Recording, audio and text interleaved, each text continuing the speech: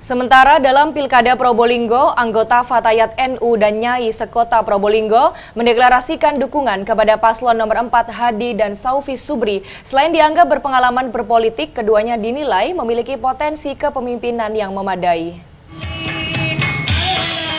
Pasangan calon wali kota dan wakil wali kota Probolinggo, Hadi dan Saufi Subri, mendapat dukungan anggota Fatayat NU dan Muslimat Jamaah dalam pilkada di Kabupaten Probolinggo.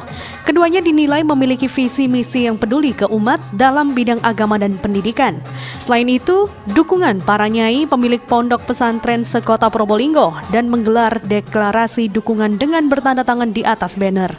Paslon berjargon handal brilian ini memiliki program yakni gratiskan pendidikan 9 tahun dan memberikan subsidi ke pelajar sekolah menengah atas negeri dan madrasah aliyah.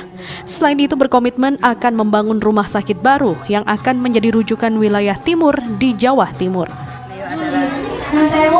ini kepada Habib Haji dan Haji Muhammad Sobri Sobri untuk foto bersama dengan para ibu-ibu Menurut Hadi Zainal Abidin, pendidikan gratis diutamakan untuk kepentingan masyarakat dan agama. Harapannya mengertilah kepada kami apa yang menjadi kendala dan tantangan tentang masalah pendidikan agama. Tentunya itu menjadi konsentrasi dari paslon nomor 4 ini yang jadi harapan dari ibu-ibu muslimat dan fatayat sekota Probolinggo ini. Ini adalah amanat yang sangat luar biasa.